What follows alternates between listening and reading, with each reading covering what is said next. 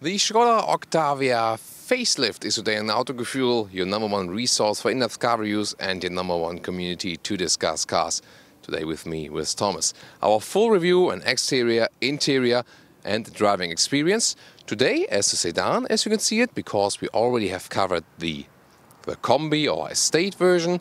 You can check that route out as well in the review with AJ and also had the RS with Holger with the facelift. Today it's more a common Octavia with the new 1 liter 3 cylinder because we also want to show you more affordable cars also with the entry engines for example because this one here may be also interesting for fleet customers and of course private customers who don't want to uh, spend so much money. So let's take a detailed look on all of these aspects.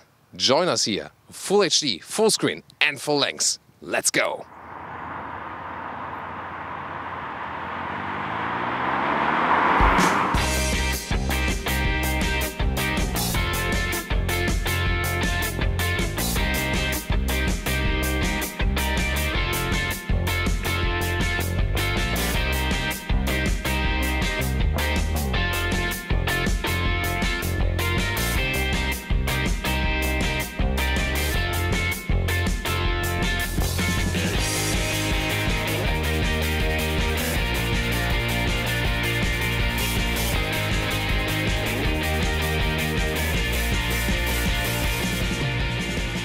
Front we have the characteristic Skoda grille, also with this kind of power dome in the front. Still, I think, beautiful and rather, I say, with edge design, some sharp lines in the front. I think it looks good in the front, but now with the facelift, the headlight unit is separated. I think that's a wrong direction for the design. It looked better with one single headlight unit. In the Octavia RS, the frame here around the grille is in black, and then this one here looks as one unit that looks a little bit better um, when it's just separation here. Here it really looks like one, two, three different elements. I think that's a little bit messed up from the design. And, by the way, the headlight itself, halogen it starts, and optional, that's new to the facelift now, you can also get LED lights as we see them right here now. 4 meter 67 or 15 foot 3 is the total length of this vehicle. You can see here we have the sedan today, has a falling roofline. To me it looks a little bit more elegant than the Combi or Estate. But of course the Estate is more versatile on the interior. I also find this combination here, white exterior with the black rims, pretty nice. It's a great contrast. And we have a beige bright interior here today. Of course some would say, ah, you know, the combination is not too good. But I mean, this car is bright on the outside, bright on the inside. It has so much brightness. That was a great quote, wasn't it? So I think the combination would have been better with uh, a nice blue on the outside and then the beige on the interior. But somehow I once bought a car that would also have the white exterior and so the beige interior. So, you know, I'm a little bit biased about that. I know some hate it, but I still somehow like it. What about you? Then design line here on the height of the door handles and I can already tell you from the outside the special thing is the interior length of 1 meter 78 so almost 180 in meters is the interior length and that's really special overall on the car market. This relation of um, interior length and the exterior length really good here also with the Skoda Octavia. 17 inch are those black rims by the way and the design line carries on over to the rear. And you can see here a nice design uh, feature the chrome line is raising here a little bit. It does look like a small Superb doesn't it? Now to the rear where you can also get those lights with LED technology now so they look a little bit more modern. The overall design in the rear is rather conservative that's for sure. Is it already boring?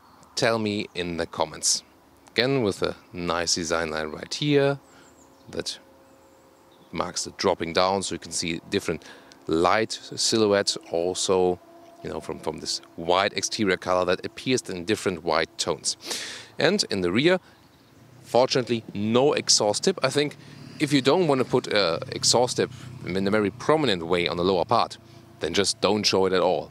Or what do you think Tell me what you think about the design here of the Skoda Octavia and what you think about the differentiation between sedan and combi or the estate. Which one do you like best?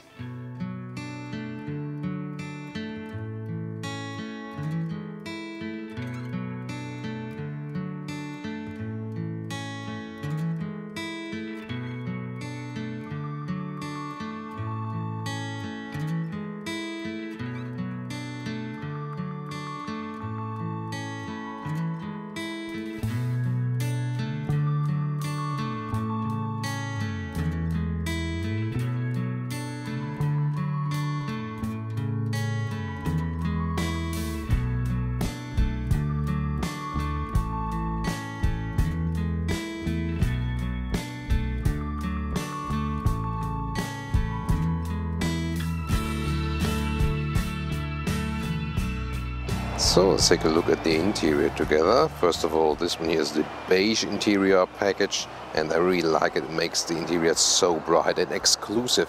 I mean, it's a normal, affordable car and it looks really high class. Also, the interior processing quality is really top notch. Look at this, wow, this looks like in a big luxury sedan. Normal compact steering wheel, the gauges have somewhat an, let's say, analog old school style, a little bit retro with those uh, bright rings around it in the middle part and it's a digital screen for speed, for example, digital speed and consumption. Then you can get uh, fabric seats for the lower trim levels, active and ambition. And then you also get a fabric leatherette mix. And this one here for the higher trims, for example, for Style and L&K, you get Alcantara leatherette mix. So Alcantara on the inside, leatherette on the outside, really high class and still sustainable. With the Octavia, that's my information, it is leatherette on the outside. With the Karoq, it was a little bit different, strangely.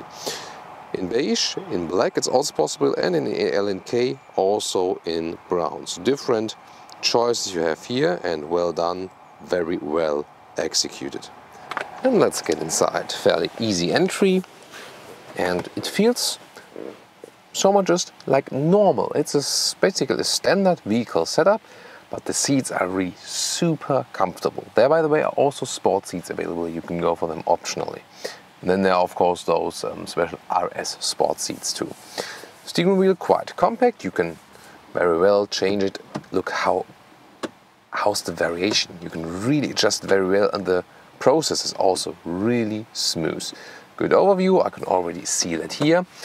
This one is also equipped with the um, electric seat controls with three memory slots as well. It's handy when you, for example, wife and husband driving the car, have different, different setup. You just press one and two.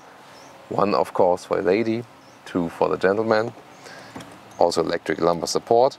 And there's really so much room here already in the front. Excellent also for tall drivers. I'm 1 meter 86 or 6 foot 1. Even with a panoramic roof, it would still be working. So this one here also sets a standard for the compact segment, although even from the room we have here, it indeed sits somewhere between compact and the midsize segment. You can just not often stress it enough. And some storage space here on the left side, just a very small bin what would you actually use it for? And now to the interior overview. As you see it also a driver here. nice visualization when you start the infotainment screen. I've just wiped it with the microfiber. It is prone to fingerprints, that's for sure. This top glass screen, so always wiping with the microfiber. And then, of course, it also looks high class with this glass view.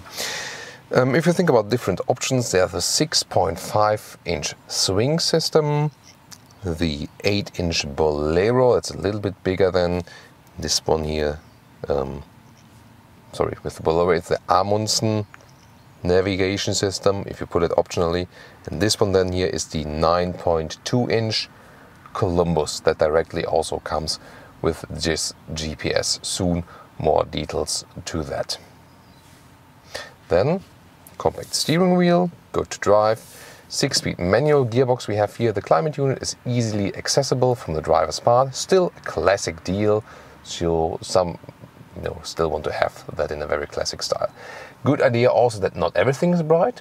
That they have the lower part is even soft touch by the way.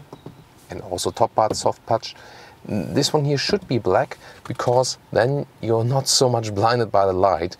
With bright dashboards it's too much reflecting everything. And glove box quite spacious and also can be cooled.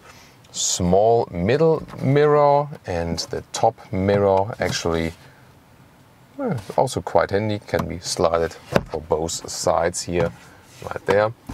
Overall, such a well thought out interior, nothing super fancy, just very functional as it should be. USB port, aux in, and in the front part here you can also inductively charge your phone.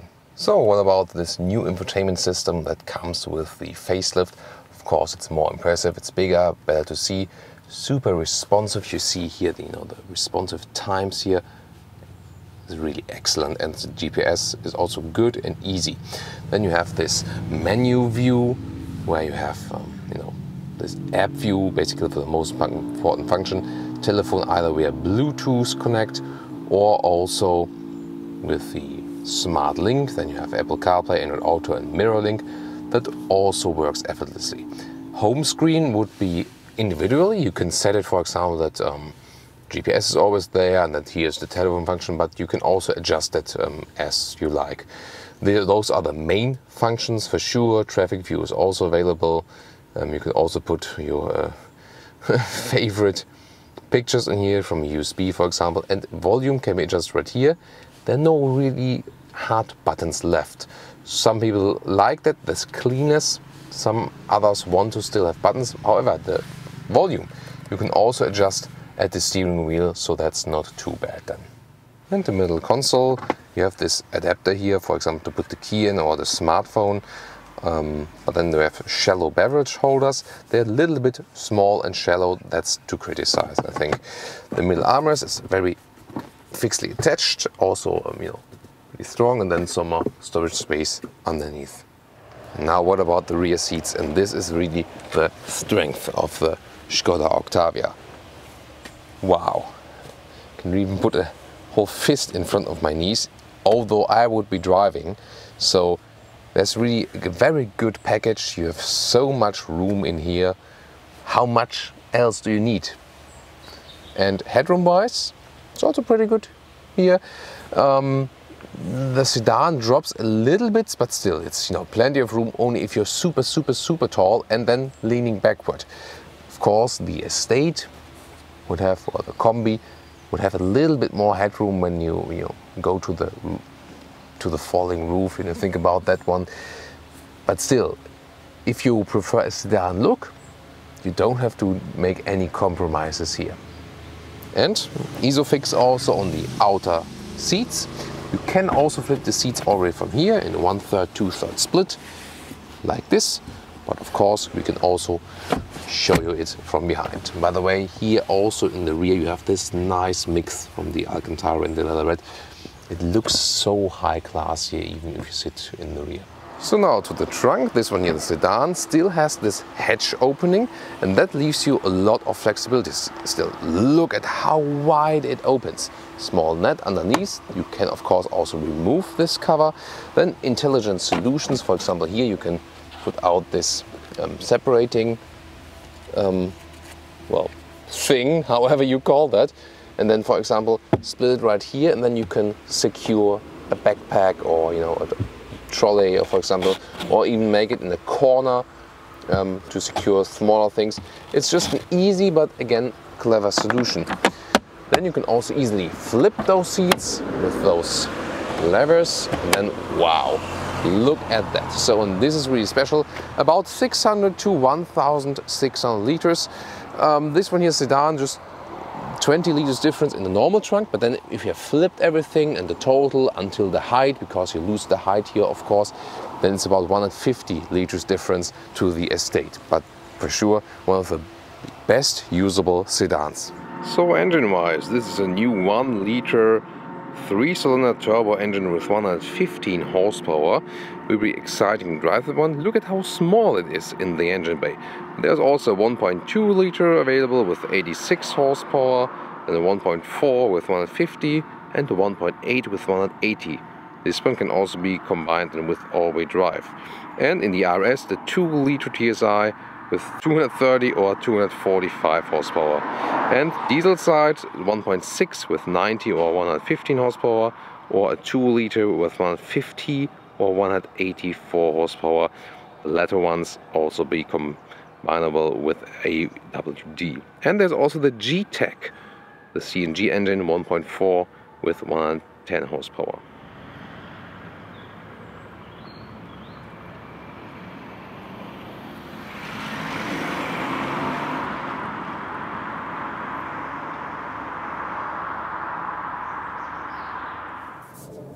So,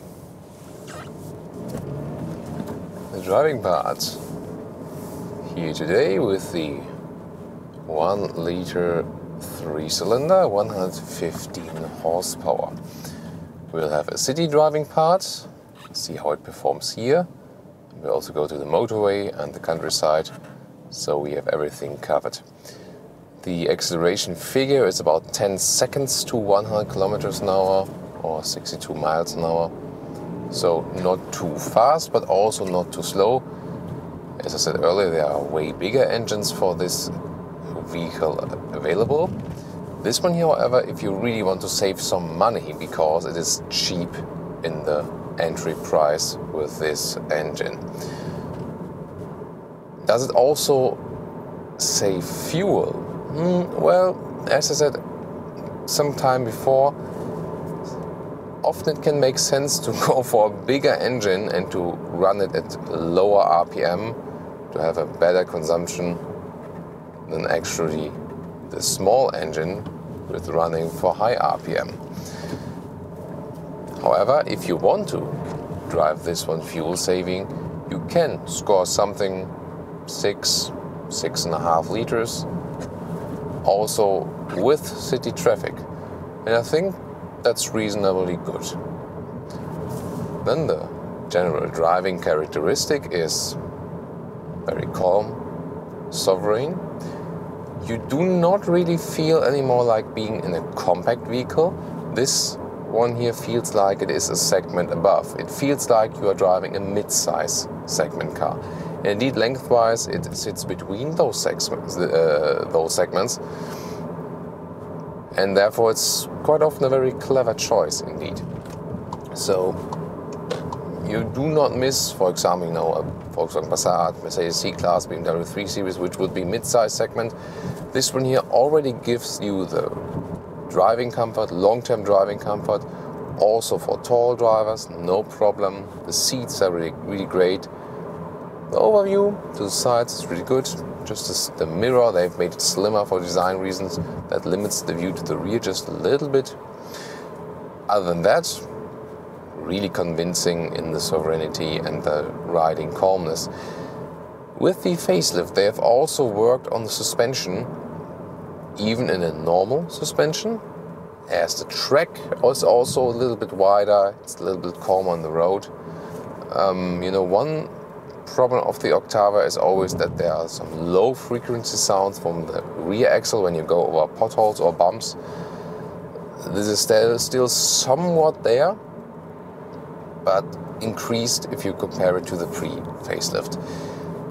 Even better it would be with the DCC, the optional dynamic chassis control, which then works even more adaptive and you can also set it from comfort to sport. We tested this one also in the review earlier with Holger and AJ. And that was probably you know the, the best they've put in the Octavia now. So if you ask me, the standard suspension is already good. You can surely live with that. That's the reason also we test it today without the DCC. However, if you want to have even more comfort and also the choice to drive sportier from time to time, then the DCC is also a, a useful option. Again, so not a must buy, but really not only a nice to have, but a good to have for sure. So DCC is something that works pretty well here.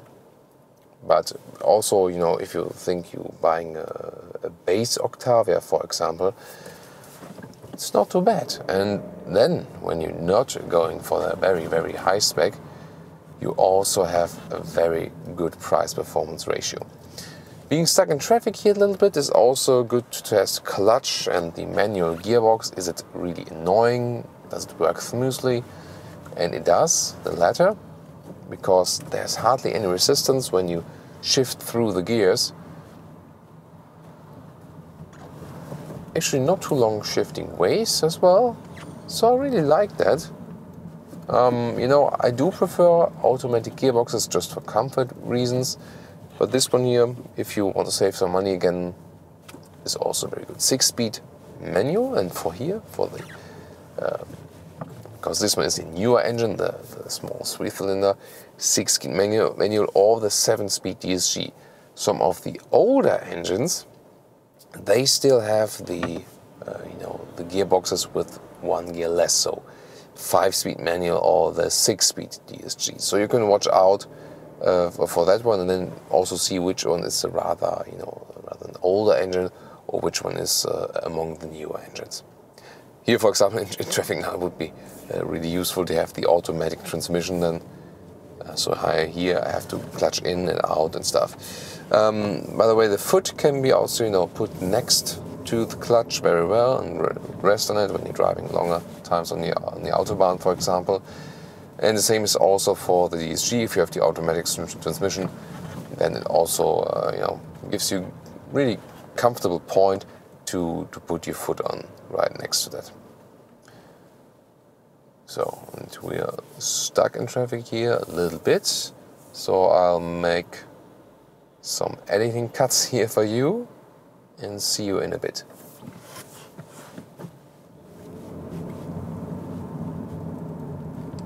So, back again. A little bit less traffic here now. And you can really work with this three-cylinder engine. It also has this very interesting sound. I've noticed that before. No matter if you have the turbo version, non-turbo version, here with the turbo. Actually, it sounds more powerful than the four-cylinder. Strange, isn't it? So the sound isn't isn't too bad. The sound insulation here is overall also pretty good. We will soon also experience on the, on the motorway when we're driving a little faster.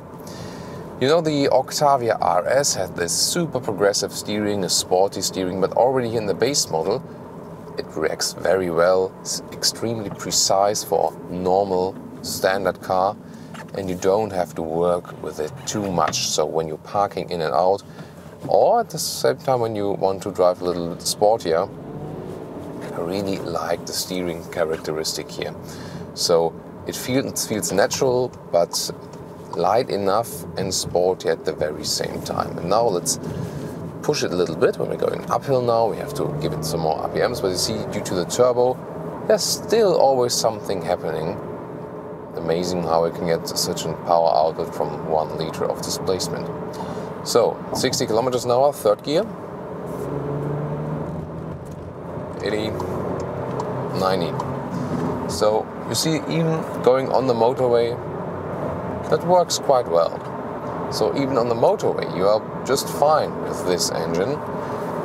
Maybe when you're driving with lots of people and full pack with luggage all the time. It's maybe not the most clever idea. Then also assistance systems. ACC is optionally available, adaptive cruise control. The front assist autonomous emergency brake comes with the middle trim level with, um, with ambition, sadly not with the entry trim level. That's bad, please fix that. Fix that, Koda. Skoda. and then there's the blind spot monitor option available for the side mirrors. Here. And small light flashes. Sorry. And then people also, even if they're overtaking you from blind spot, you do see that it's happening. Even now at about 100 kilometers an hour, it's reasonable silent here. The suspension is doing a good job car is still very stable. Also, when I'm moving the steering wheel a little bit faster than that, it's also a great motorway car for sure. And the thing is really that the more you test this vehicle, you, you realize it is a very, very good car. And everything, you know, in different elements above this here is excellent. And the thing is, you get this one here for a very good price performance ratio. So it's quite often that if you want, for example, now like that driving comfort, if you want to go put it from very good to excellent, you usually have to pay double the price. So it's not, you know, in steady levels. So this one here basically, to me, is a benchmark for a car, for a very good car with a with an excellent price performance ratio. And indeed, you know, you, there aren't many wishes left when you drive this vehicle. You know, you could always say, yeah, you have more riding comfort with an air suspension. Again, think about what vehicles you have to get to get the air suspension and what extra price do you have to pay for that. And then again is the question, is it really worth it? So if you think pure pure logic, actually hardly any other vehicle above this one here is worth the money if you want to maintain this price performance ratio. You feel so comfortable, so at ease, also all the time really in control because it has basically also the right size. It's not too big, it's not too small. Here enough power even with the small engines. See here when you want to do some slalom, look at how the car reacts on the steering wheel. Smooth enough, but sporty when you need it.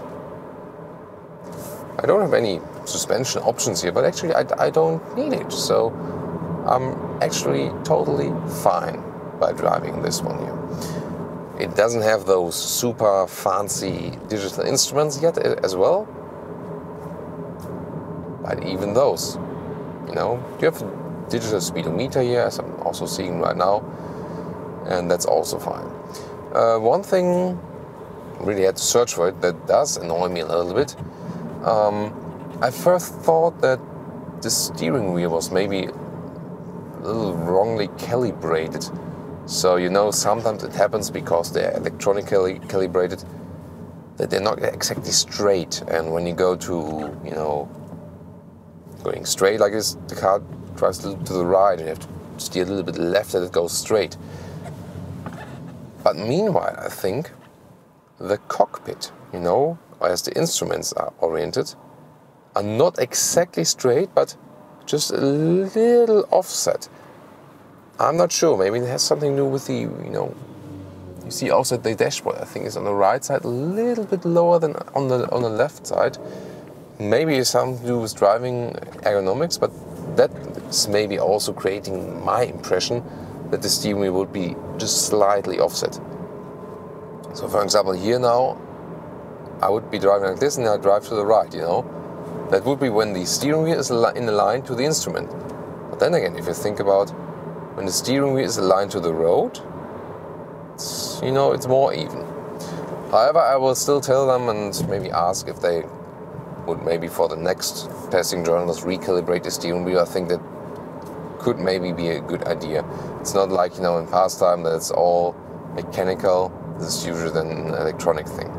But if you have experienced uh, something like this with your Skoda Octavia, I would like to know for sure. That would be you know, an interesting exchange here because we are also looking always forward to real owner comments that future buyers can then again learn even more from them. Here again, getting a little bit more dynamic driving. It is really also a fun car to drive, and even in the base version. So you not necessarily need the RS to have fun driving the Skoda Octavia. I think that's to me always very important that you do not need the highest trim, the highest spec, not having to spend too much money, only that the car would be good or fun or so. Shifting back, enough power also for lower RPM regions. Direct steering, suspension gives you enough feedback. It's not tilting too much without losing comfort. That's how it's done. So in all the driving aspects here, again, a very convincing ride with the Skoda Octavia. The facelift has made it even a little bit better. As the last question, shall I directly sell my pre-facelift Skoda Octavia to get this one here? Well, I think it's not really worth to switch it, switch it immediately. It's not that big of a difference. So you're just fine with your pre-facelift of Octavia for sure. However, if you're switching anyway because your lease is getting renewed, for example, or um, you know for whatever reason you want to want to buy the new car anyway, it does everything better basically, and it is notable from the you know the changes of the facelift they've done, and I think that's also something something very important. And to look forward to. Maybe, maybe have the switch and you know, as you get those new exterior lights, the new headlamps, which some don't like, at least you know that driving wise, you do get something better even in the base versions. So, some more sport corners. It's really also, although it doesn't look like that from the outside, rather a sporty companion in this compact segment or compact mid-size mix. But the most important thing for me is again the comfort. You do not need any more length or any bigger size to get more comfort. To me, if I would step a segment down, then I do lose comfort as a tall driver. But here, if I drive this one here, or you know, a car that is maybe uh, 40 centimeters longer, that doesn't do any big change anymore. So this one is also in, in basically in every aspect, at, not at the very top, but at a very, very good level. And now to our conclusion for today, Skoda Octavia facelift. I really like the sedan concept here. It looks elegant and it still has this hatch opening and has so much room inside. So there's a good compromise, not with this small separate hatch where you just have this hole the small hole to put things in. Here also a wide opening, very well done. And then, you know, if you want to have even more comfort, you can have the Estate. I would also go for the Estate, although I prefer the sedan look. I would take the Estate that I can easier throw my bicycle in the rear. The exterior, yeah, with the, with the headlamps, I think most of us agree that this is basically a fail. The headlamps before looked indeed better. It will change with the all-new generation of the Octavia again. Still, the exterior is somehow good. It's not a very exciting exterior, that's not. But overall, I think pleasing, we could agree on that. Also with the wider track, it looks better that, you know, the uh, wheels in the arches are not too much offset. The interior, really nice, especially in the beige trim here. Looks so bright and looks so classy. And it is indeed high class from the processing or from the build quality on the interior. And that's again with this price performance aspect you get. And of course, so much room here on the interior. And I think the package is really excellent considering the length on the outside and room on the interior. And again, one of the best price performance vehicle on the market. So this is a vehicle I can really, really recommend. Of course, I want to hear your feedback. If you're an Octavia customer, maybe a future customer, share your experience, share your thoughts with us, and also tune in to the other Octavia reviews. We will link them here in the comments and in also the video description, so check those ones out as well. Thank you so much for watching and please keep supporting Autogefühl.